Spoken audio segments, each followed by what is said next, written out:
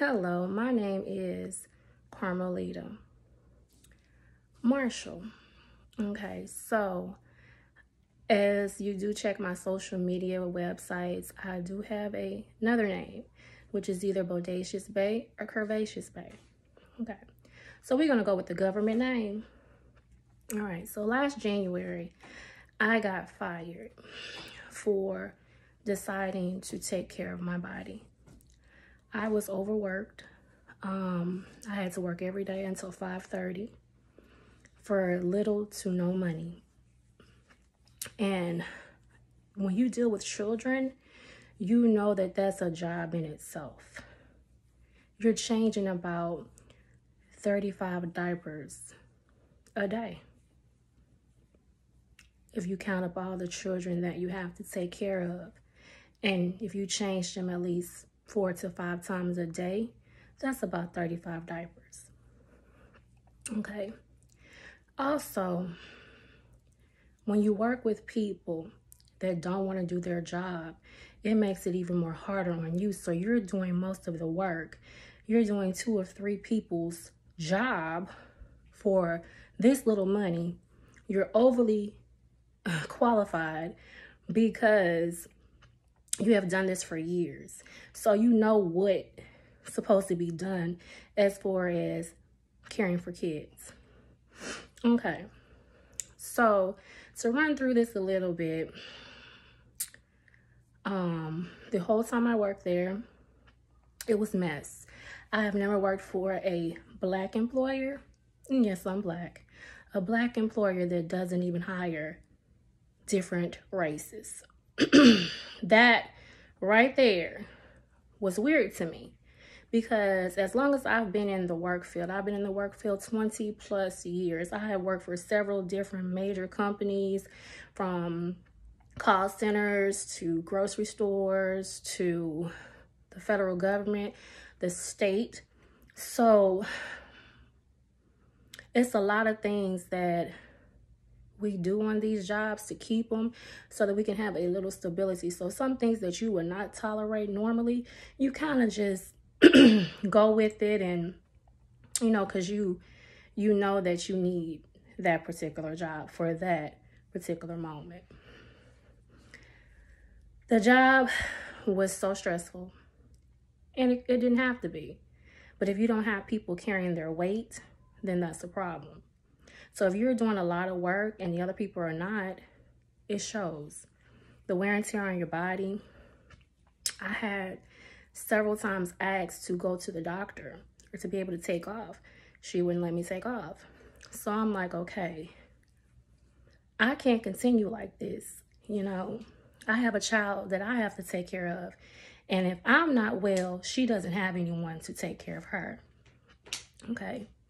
So I ended up getting, make a long story short, one week in January, I had been there about seven months. I decided to um, call in because I wasn't feeling well. I had like five different aches and pains. So I needed to take care of me. Called in. Okay, she returned my call. Actually, the first day she didn't return my call. So the second day, because I had to call in two days in a row because I was feeling that bad. Okay, she told me to go to the doctor. I went to the doctor to get a doctor's note. It told me to return, I want to say, the following week, which was on Monday. She is the type of person that she would cowardly fire you. So she actually, when she sends you that check in the mail, because we normally get direct deposit, you know you're fired. No matter how you say it, no matter how you try to sugarcoat it, you know that's her protocol. You're fired. so I got fired trying to take care of me. But before I got fired, she was picking on me, trying to find any little thing that she could um, get into it with me about. And I don't have time for this. If I'm doing a million things and the one thing you do is call a parent to see if I remembered to write on a paper that they needed more diapers. Okay, out of everything, you just called them to check that. Not all the 1 million things that you've done correctly, being that you had little to no help because the person that worked with you, she always was off. She always took off. She always had to go to the doctor or someone in her family had to go to the doctor. Get off with no problems. I'm stuck with the kids. over the ratio. The ratio is five per me. So if I'm the only teacher in there and there are five infant babies, okay, five infant babies. I should not have over five, and I normally would have seven to myself with no help. So I'm good at what I do. So I handled it. But when you know that you're being taken advantage of, you're not going to continue to do it. So she was just doing, she didn't like the fact that I knew my job and I knew it well. Because I also worked at several, I used to do childcare in my own place where I lived in another state. Then in another state, I worked with a diverse group that was medical doctors, lawyers, everybody that made about six figures or more. We were taking care of their kids, okay? And you know they don't play, right? You're not about to play with people kids and get away with it. So, um, I worked and you know, so I, I had a, a lot of knowledge. I was actually trying to help her because she had so many issues anyway. She had so many strikes against her. But, you know, some people you can't help because they feel like you're their competition or they feel like they've been doing it for X amount of years and getting away with this and get away with that, that they don't need your help. So, again, to make a long story short, I ended up getting fired while on medical leave because I was going to return that Monday. All right. So, when it came down to it, um, I was out of work. I was out of work from January all the way until the end of October of 2023 because I was going to doctor appointments and all sorts of things to try to get me better. Okay, so I have never been so disrespected in my life that grown women don't want to do their job because they're so emotionally attached to something that isn't concerning your job. All right, so okay, I'm not gonna lie to you. It's a known fact. I'm a single parent. So therefore, I rely, I don't say I rely, but until I'm able to um make enough to not need food stamps or assistance, then I won't even try to get it. But let me tell you about this. So I've been out of work from January 2023. I put in an application for a TANF. And anybody knows what TANF is, that is temporary assistance for needy families. Okay. That's what you qualify for. You have a child, you have zero income. Okay. So you automatically get it. You know, I have went through several interviews, um, several things that they require for me to do, and they will always find a reason not to give me TANF benefits. Okay. So, for instance, my recertification for food stamps was April 2023. I started putting an application February 2023, thinking that they would rush it. They didn't rush it. They took their time. They took their time to the place that I had an interview and they missed it. They missed the interview that they requested for me to attend at a certain time. It's like 3 o'clock in the evening. It's like 3.10. I decided to call now, keep in mind, this was February that I applied for these benefits. This was March that I was calling because I had an interview um, that you have to get when it's recertification time. I had it, I want to say, the beginning of March for those April benefits to be renewed. Okay, so I I, I just couldn't believe it. So my caseworker that I had or that was assigned to me, she did not make the interview. I called her and I explained to her, well, I explained to the person that answered the phone because undoubtedly she wasn't available. She was in another interview, they told me. And so I'm like, okay, if your interview went over, you would have the decency to call me and let me know, okay, I may have to reschedule your time, your interview time slot or I may be a little late. I might be running behind time. It was no communication. So when I called there, they was like, oh, she's still in a meeting or she's is going over or whatever. I didn't hear nothing else. I left my information. They were supposed to call me back. This was a Friday. I didn't hear anything else that Friday. I didn't hear, um, ma'am, I'm gonna get back with you on Monday. No, I didn't hear anything. So of course I'm gonna call again when I had time. So I called again, still getting the runaround, and they still didn't do the interview till they felt like doing the interview. So this interview probably wasn't done till like the end of March. So no matter how you called, you still was not going to get that interview that you was already scheduled for. Okay, so when we do this interview process, I applied for TANF because I've been on the work since January. It's March. This lady, which was my caseworker, I'm in the state of Mississippi, she said, she asked me, do you want TANF? I said, yes. She said, okay, so you want TANF? And I was like, yes. Okay, we went through all that, the phone interview. I answered all the questions. Of course, I was already getting food stamps, you know, because even though I was working, I still was getting food stamps um, prior to me being fired. So they were just going to go up a little bit because now I wasn't working. And um, we went through all of that. And she still decided to send me a letter with just the food stamps. No TANF at all. And so a couple months went by and I was like, why did I not get the TANF? And she asked me, did I want the, did I need the TANF? Not did I want it, did I need it? Yes, I need it. I have my own bills. I have rent, I have phone bill, and I have lights.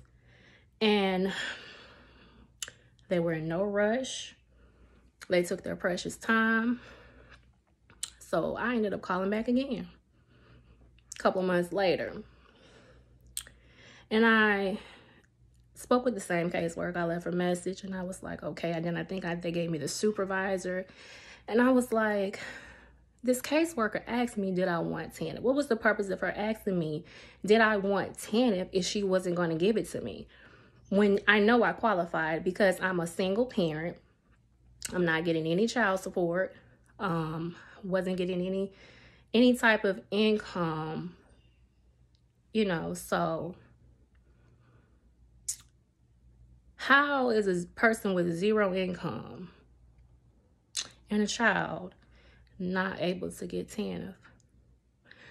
So I still was persistent, no matter how I was getting on their nerves to do their job. They, I mean, I called there, I got so much unprofessionalism. One day I called there and someone picked up the phone. And this is so now, I, I thought most call centers, the calls are recorded. Somebody answered the phone and they stated, I kid you not, I'm not going to say the words that they used, but they stated, I'm going to keep instead of saying the curse word, um, messing with such and such to make you mad. But they were so unprofessional. They used the curse word and the word that you would say if you were intimate with the person. I was like, now I know I'm not hearing this on the line. And why are you addressing this to me? And why does this have what does does this have anything to do with you doing my application and getting me some food stamps and saying No, it doesn't. You're getting to see your personal feelings about a guy that we probably both know. But I never answered her or said anything because I was still stuck on the fact that she had the audacity to say that over the phone line and it's supposed to be recorded because these this is the state. Now, um I was just shocked. Okay. So they kept going back and forth with me for some more months. So we wasting time at this point. You just don't want to give me the TANF benefits. Um, we went back and forth. She sent me a, a, a document, a packet for to fill out in June. So it's June now. We didn't skip all these months and passed from January. I filled out this application in February. I was supposed to have her interview in March. She didn't call me till she feel like it or till she felt like it.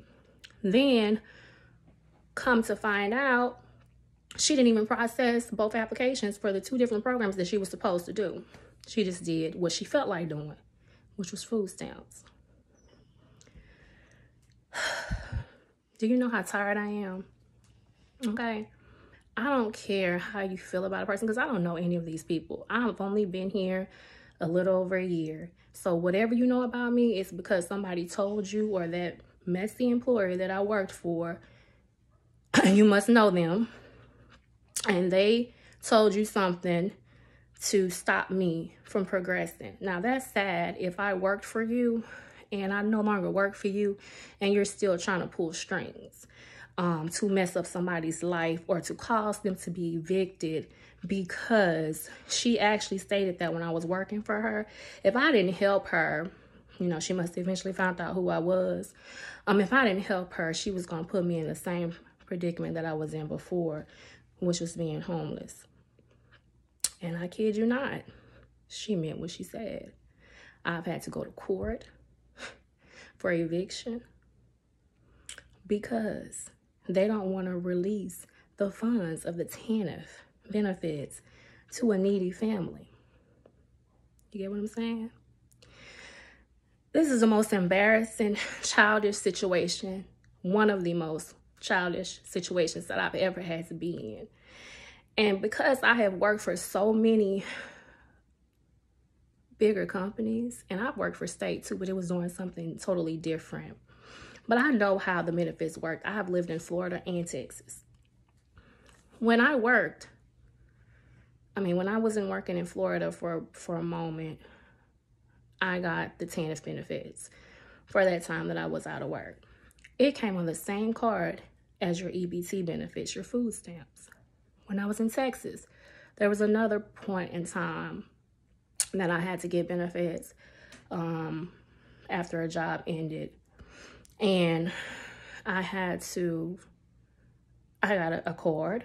The EBT benefits was on the same card. The TANF benefits was on the same card as the EBT benefits, right? Food stamps.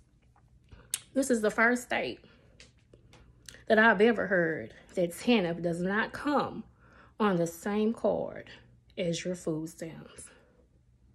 Now, the fact that y'all are lying to me and have played with me for a whole year just because you got the power to it's really, really very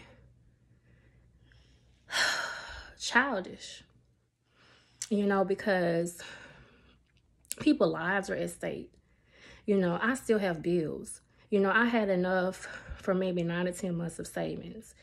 And I have used that to cover my bills for all of these months that they decided to play and not give me my benefits. I also was supposed to get unemployment. If I would have got the unemployment, I wouldn't even worry about the TANF.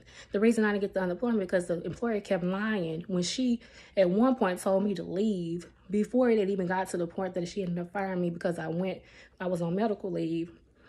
She had this meeting one time because, you know, she was always getting in trouble with the state because her daycare wasn't up to um, code. And she turned the whole meeting about me. Who does that? You have more important things to do, like get this up to code for you be shut down. But no, she feels like she don't have to do it. Um, she can do what she want. it doesn't matter because she owns it. So, to make a long story short, again, this has been months. It is now January of 2024. Today is the fourth date. I have been going back and forth to get TANF with these people. At this point, they should have backdated it from the time that I applied to up to now. But they refused to do it. So what they were trying to do, and they thought I was stupid or slow or dumb or something to that effect, they were trying to take $200 out of my unemployment, which still would have been less than what my rent is. My rent is 575. That's the cheapest that you can have probably right now, unless you got a housing voucher or something to that sort in the state of Mississippi. Okay? I don't live to please people. So where I live right now, it accommodates what I make or what I was making at that time. Now, I kid you not. it has been one thing after another. Like, I mean, I just can't believe people can be this childish because you might have talked to the same guy. And I hate to bring that up, but this is what was said on the line because I'm not that type of person. Who you talk to, if they talk to me, they talk to you. It don't have nothing to do with me. You need to check that guy. Don't come for me. You get what I'm saying? So they just can't get it right in the office. They're all in their emotions over this guy. So they decided that they wanted to take $200 out the unemployment and try to pass it off as if it was TANF and it came on a whole nother card. Let me tell you, so instead of this woman, the caseworker being like, do you have a card already? And I was like, yeah, I have a card. Well, I didn't say I had a card because I'm thinking she's talking about like an EBT card because the EBT card is where the TANF benefits go. And you're talking about TANF. We're having this conversation about TANF and this and that. So, come to find out, they knew I had a card, but they couldn't specify what card they were talking about because they knew that I was supposed to get unemployment. All right. So instead of paying me, the, they trying to get the $200 out the unemployment because they sent me out another card. So I had to wait more weeks. This is up until September when I finally was able to um, receive a TANF payment. But it wasn't TANF. It was my unemployment that they had took $200 out of. Right. I think my unemployment was supposed to be like 690 for the month. I want to say that payment was like 450 something. Now we behind on lights, everything. This is September. I applied for this in February. And TANF does come on your EBT card. I don't know where these people get it from, but they must have been doing this for a while. And then they even had the nerve to lie about it because I caught on to them. So because I caught on to them, they was pissed. They was baby. So they was like, okay, I had actually, I was telling my phone was about to get turned off. Because again, I've been carrying this load for nine to 10 months by myself with no help from anyone else, you know. And like I told you, I spent my savings to cover me. At that point, I shouldn't have to do that. You know, that's what it's for. And if I'm not working and I have no income, what are you supposed to do? Release my unemployment if you wasn't going to do right by the TANF. They didn't want to do it. They wanted $200 out of it and then lie and say it was TANF Then I had also been filed for child support. You know, it's kind of all connected. And my child's father hasn't paid a payment in eight years. I don't understand. I can't seem to get a decent lawyer for nothing. Eight years, my divorce has never been finalized. It's supposed to have been finalized when I left him, November 29, 2015.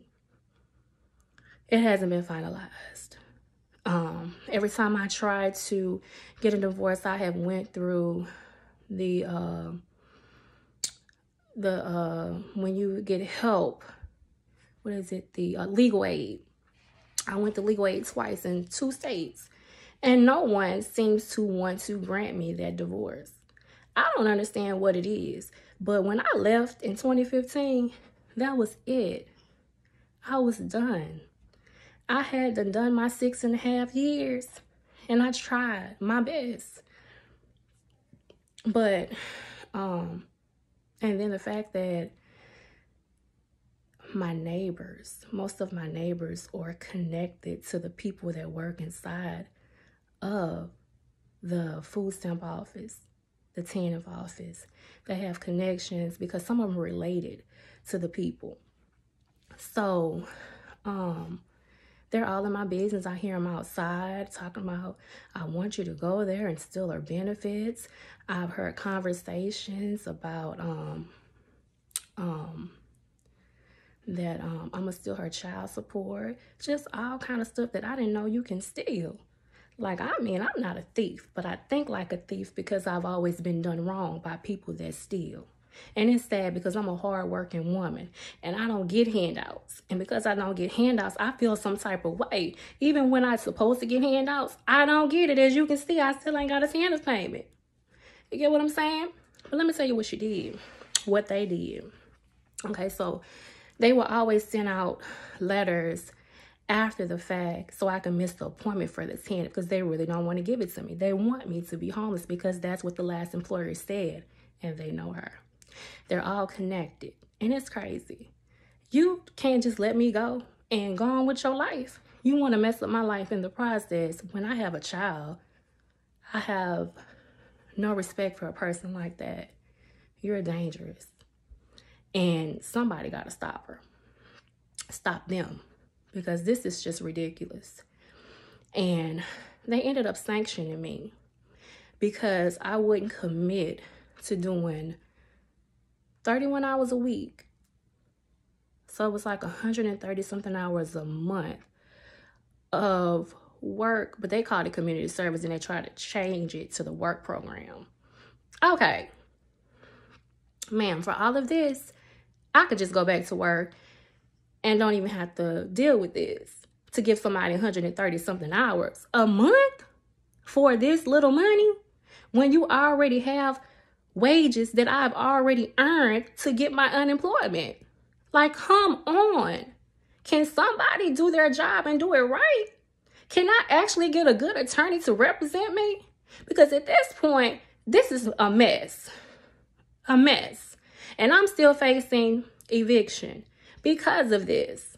And they don't want to get it right because they said, I got the power to make you homeless. That's an intentional making you homeless. Not because you didn't do what you were supposed to do to get the funds from the, the state. No, because they have some type of issue.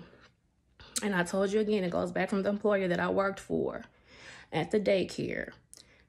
She threatens people. She threatened me while I was there. But I still work there because you don't scare me. You don't. I mean, baby, my God is far greater than any person that thinks that they can threaten me and not be dealt with. So, when I say it was my unemployment that they were trying to get a cut from. When I worked for her, she was taking $200 out of my check, trying to make it be for childcare because I let my child come there for the summer. And she was kept trying to get the certificate for childcare to come to her school, and they wouldn't switch it. They, because I had already applied for her to go somewhere else. So they wasn't going to switch it. So she got mad because she kept trying to pull it to her school and they wouldn't do it. So she ended up charging me $200 a month. So when they said $200 taken out of that, I knew who it was. Somebody trying to get a $200 cut. Who else would it be? If it ain't her, who else? So, this is a mess they couldn't get it because I was not going to commit to 130 something hours a month for less than $500. I'm not anybody. I, she didn't already work the heck out of me, overworked me, and didn't want to pay me. Um, she paid me between nine and ten dollars, and then you're taking two hundred dollars a month. Ridiculous. And then you want to sit here and play with the unemployment when you know you told me to leave, but I wouldn't leave. They was doing crazy stuff. The employees was doing stuff to make it to get you in trouble, like switching bottles, putting them in different other kids' book sets so it look like you wouldn't know your job. I've been doing this too long to be playing this game with y'all. They was trying to make you quit. It didn't work. The ones that was trying to make you quit ended up quitting themselves because it wasn't working with me. So they had to find another reason to get me to get me out of the um the uh the daycare. So instead, she, instead of telling the truth, she lied and said that um I quit when she knows she fired me. Because that's her protocol when she send you a paper check when you get direct deposit. So they sanctioned me and around that September time. Now, if you know, if it's a TANF case, which really wasn't, it was unemployment they was playing around with, anybody that works in the food stamp office, no. TANF is one program, food stamp is another program. And because it's two different programs, you cannot sanction a TANF cash case over to a food stamp case. These people, because they mad about this guy, yes, stole three months of my food stamps, totaling $1,500 to also make it hard for me. Then got the nerve to tell me to go get a job for those three months. Yes, when my hurt knee, that I done fell on the job and I hurt my knee.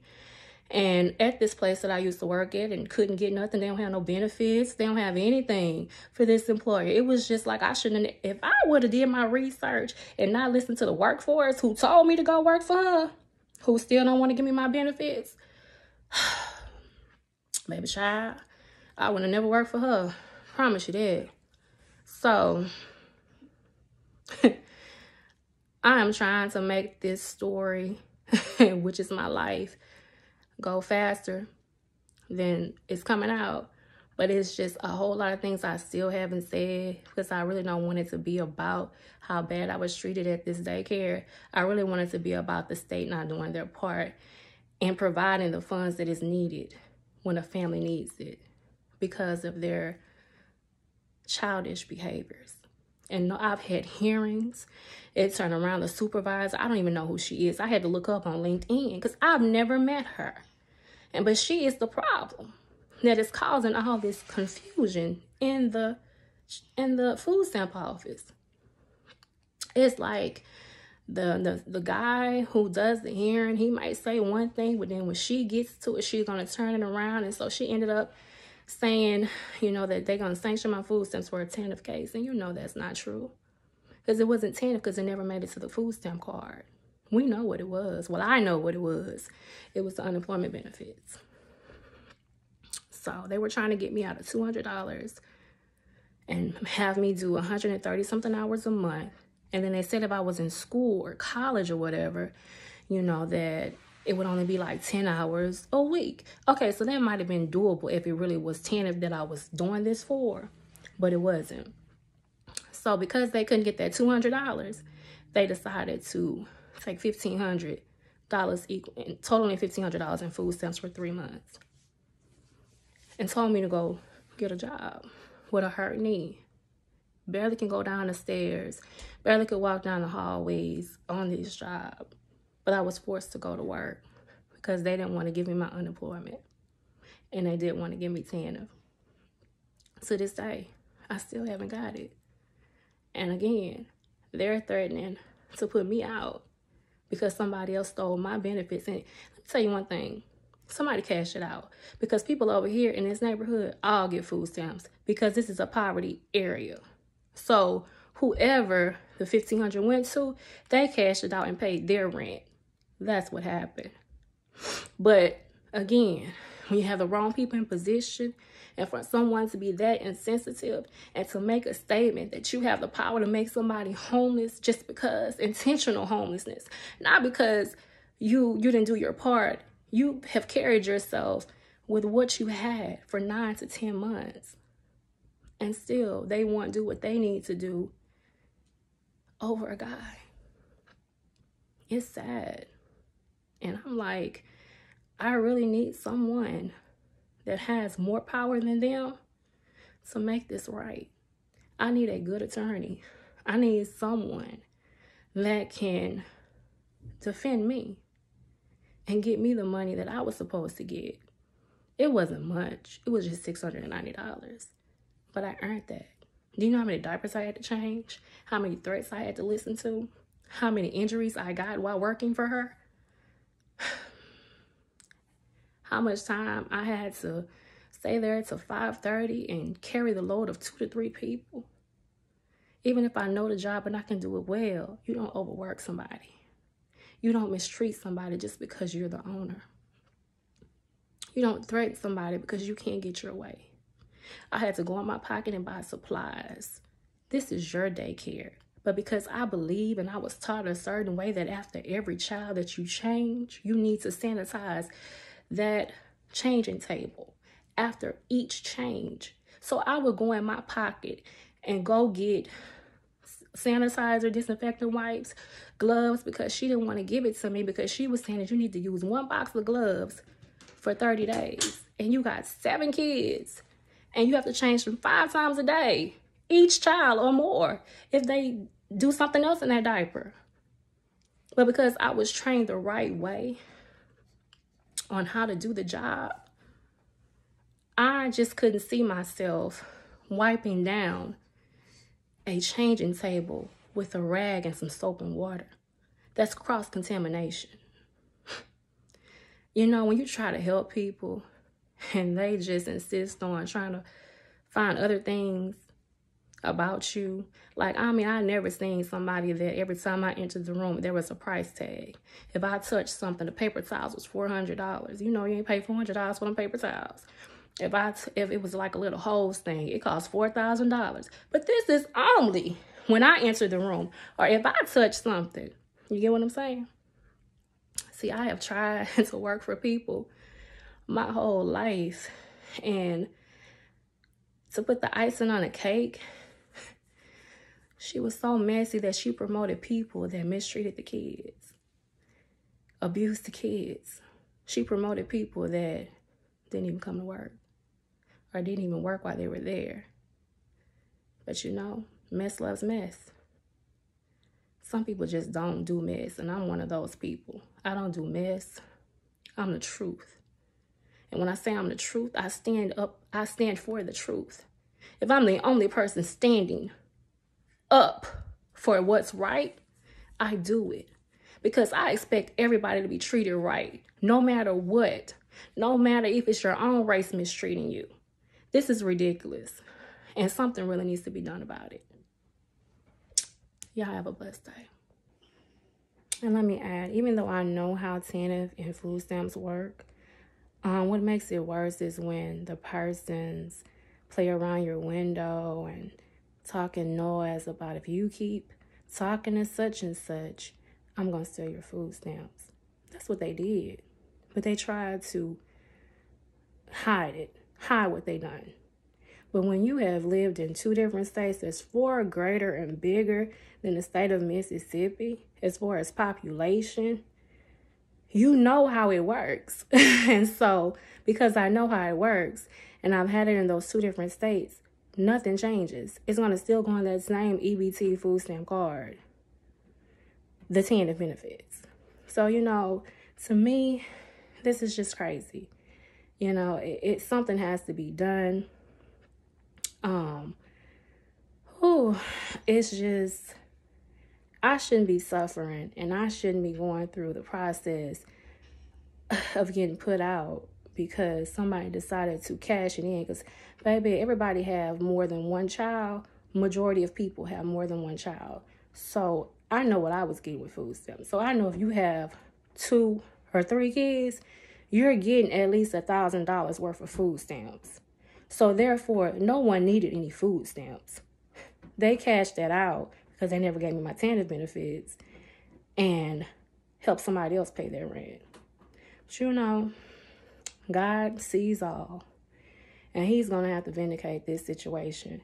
Because me, I am tired. I didn't even get a chance to recuperate. Even though she commanded me to go to work, if you're trying to catch up on a light bill, I had to get deferred payment on a light bill, which meant that one of my bills was behind, but I had to break it up because they played around for all these months. So I had to pay a regular bill plus my one bill chopped up into four different payments with me with every month. So if I have my real my regular bill, I got like maybe $40 that I pay on that bill that I needed help with. So I'm paying two bills to catch up. You know, I just started working that job the end of October. By the time you sit here, you just stole food stamps, $1,500. Okay, so because you stole those food stamps, I got to buy groceries. Me and my child is actually eating maybe 40 or $50 worth of food for two people. That's insane. Then I got to pay the, like I said, catch up on the light bill that they gave me some grace and mercy with because of this foolishness. And then I have a phone bill. It's crazy. It's crazy. Then I supposed to be able to, it's just, you just wanted me to get kicked out. Like they said, you have the power to make you homeless. So if I got to do all this and you could have just released either my unemployment, my unemployment or the TANF benefits, everything would have been done. You get what I'm saying? Again, y'all have a great day.